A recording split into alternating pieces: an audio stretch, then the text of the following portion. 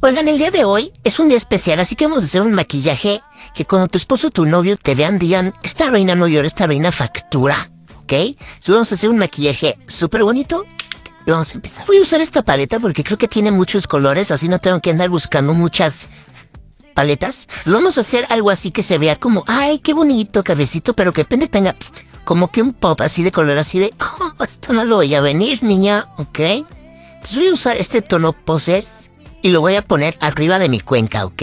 Mezclar el naranjita que usé arriba con este que está un poquito más oscuro. ¿Ok? Recuerda que el pop de colores al final. Tú confía en mí. Si te cuesta trabajo difuminar, yo te recomiendo que lo hagas a toquecitos, ¿ok? Y ya al final ya le das las pasadillas que quieras. Ahora, yo sé que a lo mejor Estoy usando el cafecito porque según yo quiero ser más natural, pero yo soy buchona por naturaleza. A mí me gusta que se vea. En todo yo soy buchona.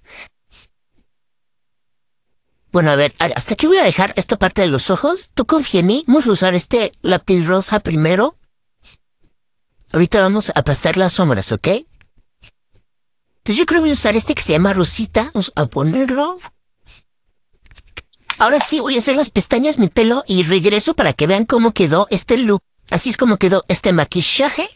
Espero que cuando mi esposo lo vea diga, oh, nena, qué bonita te ves. Mm, mm, mm, y bueno, yo les mando muchos besos.